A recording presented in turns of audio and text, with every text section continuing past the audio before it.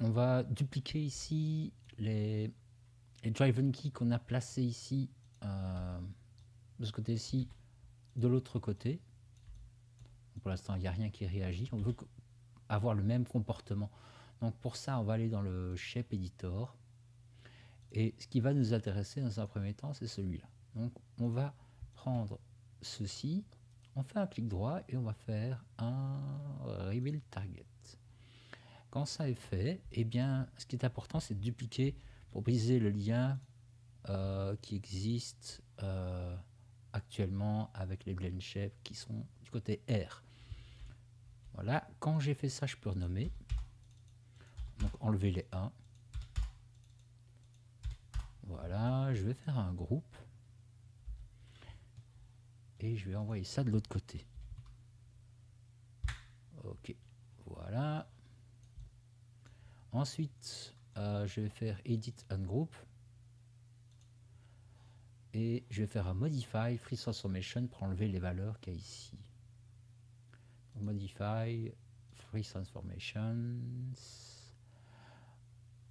Ensuite, euh, je vais sélectionner ici la cible pour faire le blend shape. Et alors je vais aller dans Deform, blend shape. Et logiquement, maintenant, on devrait avoir un comportement. quand je vais, par exemple, sur le out, qui est le plus clair, eh bien, on voit que là, ça, réagit bien. Je vais renommer ceci, donc le shape 1 là. Donc je vais prendre l'offline ici, R ribbon, et je vais mettre un L à la place. Voilà. Donc là, là on est bon pour euh, cette étape-ci. Une fois que c'est fait, je peux supprimer ceci, j'en ai plus besoin. Euh, regardez que je suis bien à 0 ici.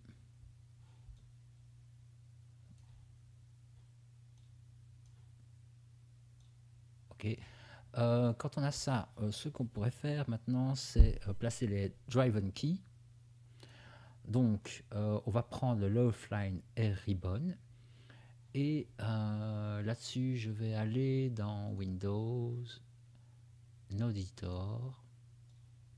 Et je vais cliquer sur les inputs ici. Ah, il faut que je sélectionne. je ne sais pas si je l'avais fait, mais il faut faire évidemment euh, Select Blend Shape Node. Voilà. Donc, là, on a tout. on a les Ici, on a euh, les driven keys. On va les dupliquer. Et on va ouvrir un nouvel onglet ici. Et on, a, on appuie sur le petit plus ici. Donc, ça, c'est une chose. Ce que l'on voudrait, c'est le loft line L, ici ribbon. Donc, euh, je le sélectionne. Select Blend Shape Node. J'appuie sur le petit plus. Oups le voilà. On va développer ceci. Et là, on devrait avoir... Où est-ce qu'il se cache non?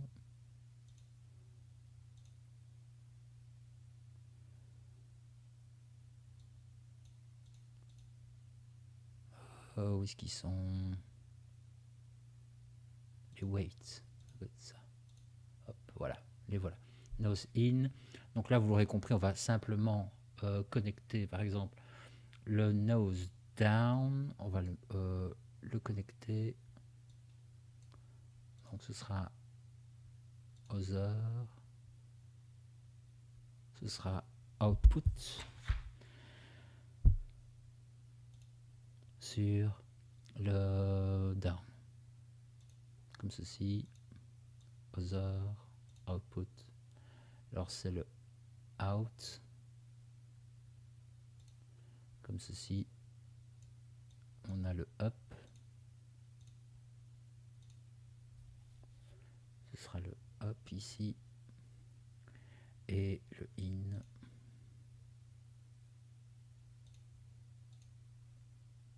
Ici. Voilà, on va espacer un peu ça. Alors, il nous faudrait, c'est euh, là-dedans, c'est euh, le, driver. Le driver, c'est celui-là. Je vais l'additionner. Euh, ici. Développer ceci. C'est du translate. On développe. Et là, je vais connecter le translate X sur du in ici. Other, input. Translate X pour le out. Other input, le Y down.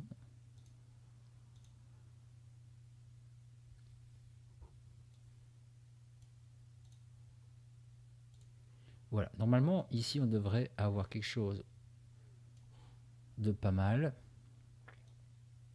Donc le in va bien en in, le out sort bien, le down aussi, et le up Ok, donc là maintenant, on voit que ça marche pour euh, là. Et là, quand je sors, vous voyez, ça marche un peu moins bien, dans le sens où quand je vais en in, c'est le out qui s'active. Donc, ce que je vais faire, je ne comprends pas bien pourquoi exactement il fait ça. Je vais simplement inverser, donc c'est-à-dire euh, que le in va aller sur le out et le out ah.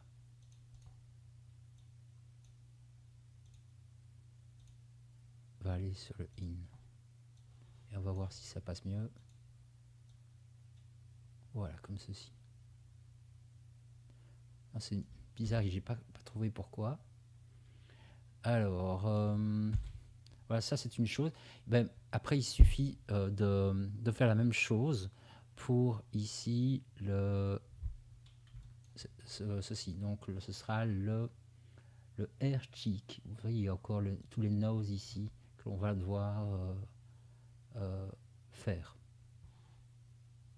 Donc, on va s'occuper du upper L cheek ici. donc, on n'a que le up et le down. On veut ajouter ceux-là. Donc, je les sélectionne et je vais faire un rebuild target. Euh, je duplique comme tout à l'heure et je supprime ceci.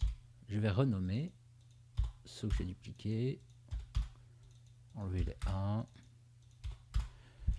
sélectionner les nose, faire un groupe envoyer ça de l'autre côté. Quand j'ai fait ça, je peux faire un edit euh, groupe, faire un modify freeze transformations. Là, on est bon. Euh, et maintenant, je voudrais c'est additionner ces targets sur euh, sur celui sur celui-là. Donc, pour faire ça, on va faire des formes et ce sera pas euh, ici sur le blend shape, mais on va faire edit blend shape add. Voilà. Et alors, dans la liste ici, on va faire Specify Node. Et on va essayer de trouver donc celle de L cheek.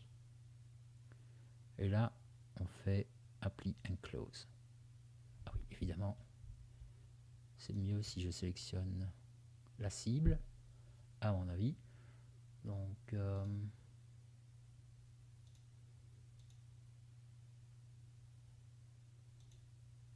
alors, qu'est-ce qui se passe?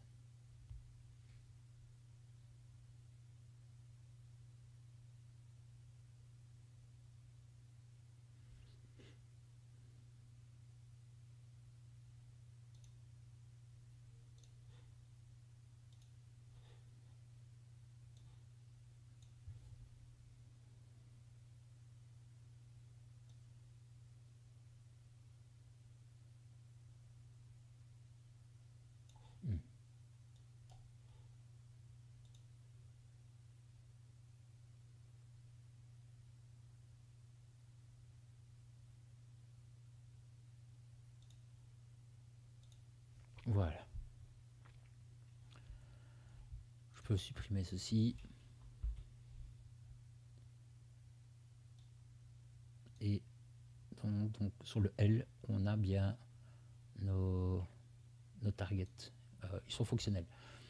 Donc, maintenant, on va euh, sélectionner le upper air faire un segment node aller dans Windows, Node Editor, appuyer sur Inputs, et alors ce qui nous intéresse, nous, c'est le nose up, bah, tous les noses.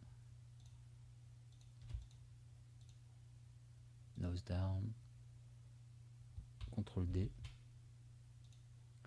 et on les additionne ici. Voilà, alors il nous faut maintenant, ce sera le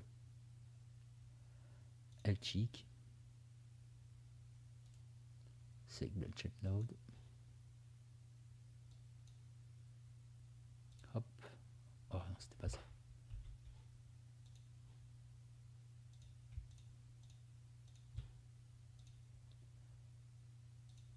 Voilà.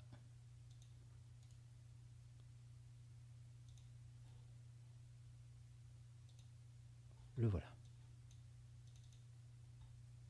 Les weights. Et là, euh, on va connecter. Donc le nose down on va le mettre sur le nose là et ainsi de suite.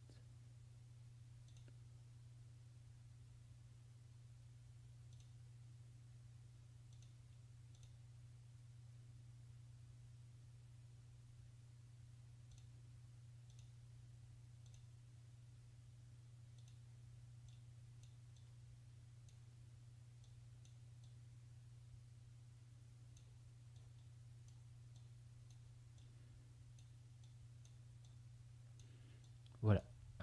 Ce qu'il reste à faire, c'est de prendre le driver, celui-là, l'additionner ici.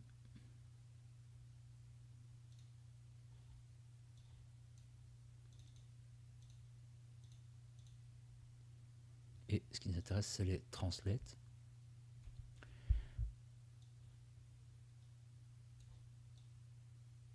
Donc là, c'est vraiment euh, placer le, les driven key, hein, driven key. Donc euh,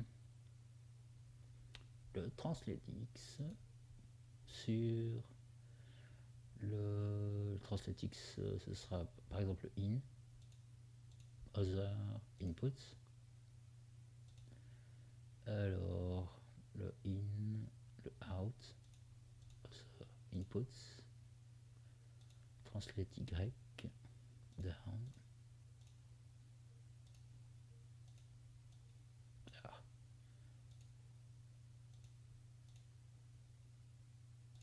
Voilà.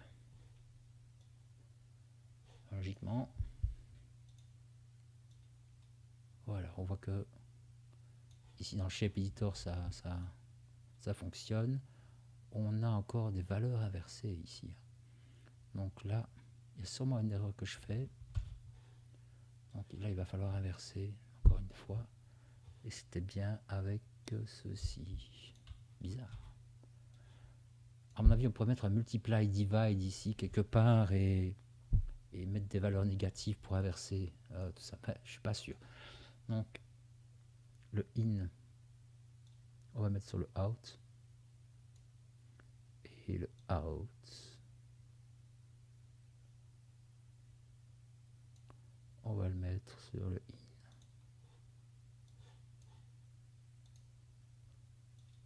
Voilà beaucoup mieux.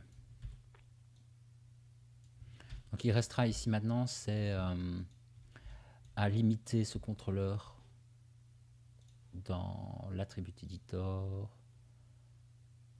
Ah, c'était dans limite information, translate. Donc là, je vous laisse faire ça. Euh, parce que moi, je connais pas vos valeurs et les miennes, je m'en souviens plus. Donc je vais un peu regarder ça.